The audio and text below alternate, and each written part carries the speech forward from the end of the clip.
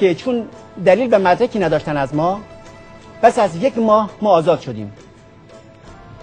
دو برادر مجاهدم مهداد سلیمی و عباس مشهدی پس از آزادی در درگیری های مختلف به شهادت رسیدن.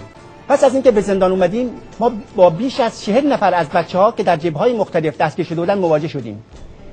که همگی آنها به استثناء شکنجه و مورد آزار و اذیت قرار گرفته بودند.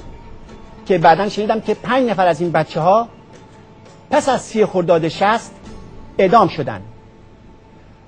دو نفر از این بچه ها که اسامیشون یادم هست جاسم کازمی مجاهد شهید جاسم کازمی و مجاهد شهید علی اسمیزاده هستش.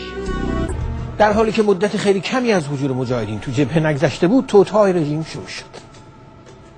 حتی وقتی که هوادارای مجاهدین تو جبهه مثل همه برای جنگیدن. سراغ مهمات و سلاح می‌رفتن. عناصر رژیم نه تنها اصلا توجهی به مسئله نمی‌کردن بلکه به هر وسیله ای سعی داشتن مانع حضور مجاهدین تو جبهه بشن تا اینکه دو ماه بعد از حضور مجاهدین تو جبهه ها دادستانی ضد انقلاب حکم دستگیری و اخراج مجاهدین رو صادر کرد و حتی تعدادی از اونها رو دستگیر و مستقیما روانه زندان های خودشون کردن پاسدارا مجاهدین رو می‌گرفتن و می‌گفتن شما منافقید و تحت فرمان امام نیستید و از این مزخرفات.